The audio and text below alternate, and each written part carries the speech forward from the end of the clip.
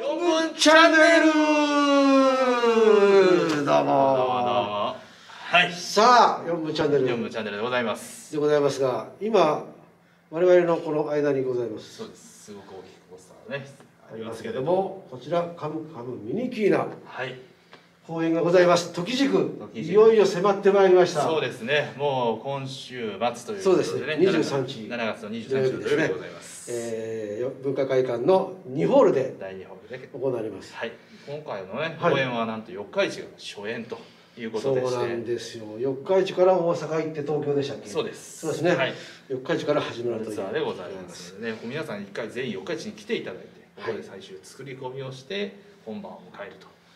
ね、そうでございます。本当にねあのなのであの、まあ、当然演出松村さんも以下、はい。えーもうそもう皆様いらっしゃるんですけど あので特に今回ね、はい。あのやっぱり八島さんから八島さん八島のりとさん。のりとさんからコメントをいただいたということなのであコメントいただきました。トいただきました。はい、はい。それではよろしくお願いいたします。よろしくお願いします。八島さんズンカムカムミニキーナ八島のりとです、えーいよいよ今週ですね私の劇団カムカムミニキーナ時軸という公演が7月23日土曜日14時から四日市で開幕です。ありがとうございます。今回のその時軸という公演の全体のまさに一番最初の初日が四日市で開幕するということでもうお祝いにバイクも駆けつけるということそして車も駆けつける。ありがとうございます。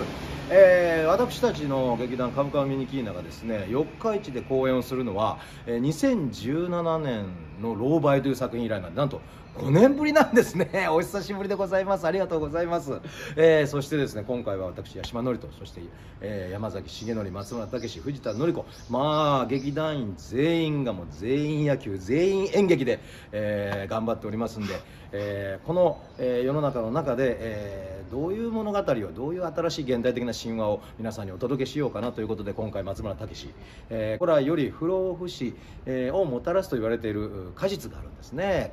時軸の核の好みというんですけれどもそれにまつわる、え物語ということであの命とか時間とか、えそういうものに、え関して考えていただきたいなと思っております、えーカムカムミニキーナのお芝居まだ見たことがない方、えーぜひ一度我々のカムカムワールドを体験していただきたいなと思っております。そして、え5年前に見た方もぜひまたいらしてくれたら、え私たち嬉しいございます。そして言うのを忘れてました。こちら。今回の時軸 T シャツということでこちらほらこの時軸っていうのね私が筆で書きました。それをこれプリントプリントしましてですね。であともう一パターンちょっとまあ限定なんですけどあれありますのであとは読み応えたっぷりのパンフレットも劇場で販売する予定でございます。是非そちらも楽しみにしておいてください。では劇場で。ありがとうございました、ありがとうございました。まあさすがね八島さんだけ。さすが。もうバッチリともうあの方は普段あってもあんな方あんな方って言ってからいやいやいや本当は明るいというかね。オーラ出してですね。本当にどなたに対してもフラットに接していただける素晴らしい方です、本当に楽しみですねこの舞台がそうなんですね。ね本当にだから公演自体は、えーはい。もう本当にかれこれ34年ですよね。かはい。えー経っていると思います、はい。あの紙面劇という形ではね今年の5月に、はい。